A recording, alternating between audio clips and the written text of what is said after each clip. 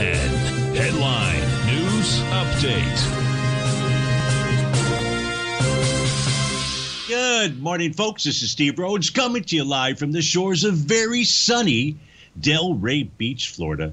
This year 11 a.m. update, and currently have a bit of a mixed bag out there. A slight mix. The mix is coming from the NASDAQ and the Dow, which are off just slightly. Four points for the Dow, 13 points for the NDX. That's about one tenth of a percent to the downside. The S&P's up three. Russell is up 13. That's seven tenths. The trannies are up one percent. The semis are up a half a percent or 15 points. Gold's up 13 bucks. Silver 38 cents. That's 1.8 percent to the upside. Sweet crude on a bit of a tear, up two and a half percent. That's a dollar 89. She's trading out at 79.14. Natural gas up 16 pennies. Nice move there. And the 30-year Treasury, she's printing out at 127.05.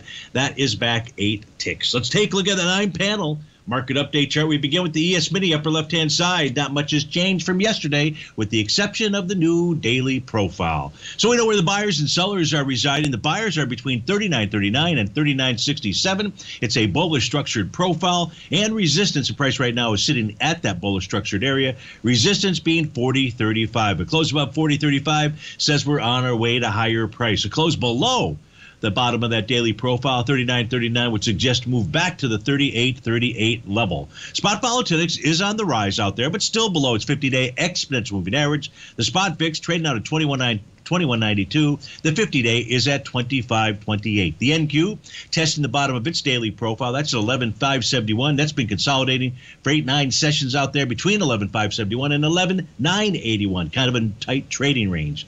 If we take a look at that U.S. dollar index, it's got uh, two buy the D point patterns out here.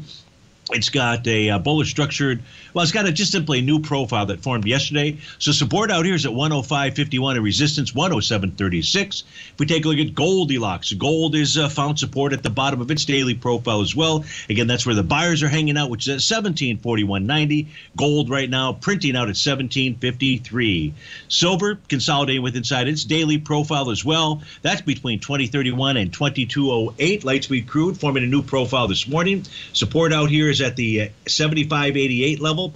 Uh, prices right now sitting at the center of that profile at 79.29. Both were buyers and sellers believe there's fair value all the way up to that trading range of 82.70. In the case of natural gas, it does have a sell the D point pattern, but all the price is doing right now is consolidating with inside its daily profile. That's between 633 and 776, and the 30-year Treasury trading above the top of its bearish structure daily profile that is suggesting it would like to continue to inch higher. Folks, stay tuned for the Trader's Edge show. But if you have to start your Tuesday, please have a terrific one.